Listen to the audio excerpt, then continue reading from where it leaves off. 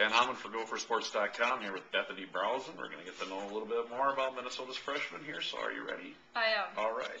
Let's get going. What's your favorite song right now? Uh, Look After You by the Fray has been for a while. All right, good. What kind of things do you want to do when you get older and graduate? Um, I'm thinking about either become um, someone that pursues kinesiology possibly, or maybe in the journalism field. So we'll see. kind of like me. Kind of like you, yes. Oh, very awesome. similar. Very nice.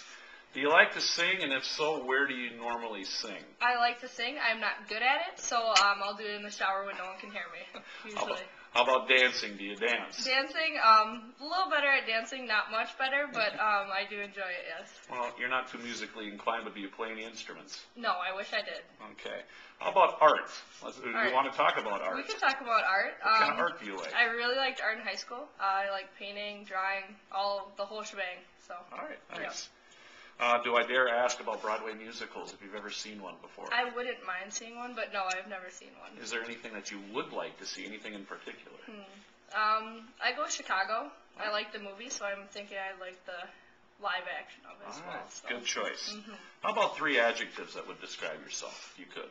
Um, let's go with uh, I'm a pretty loyal person, um, hardworking and dedicated. I like to think. All right, thank you very much. Thank you.